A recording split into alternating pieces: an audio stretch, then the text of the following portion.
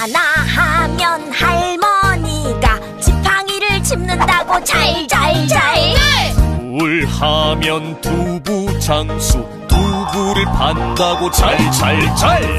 셋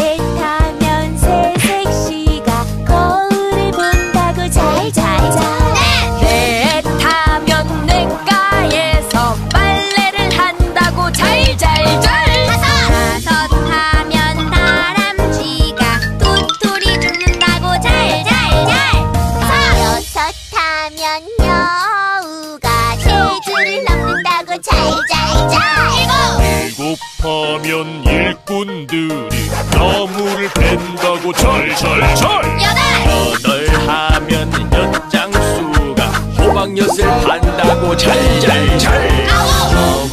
하면 아버지가 마당을 쓴다고 잘잘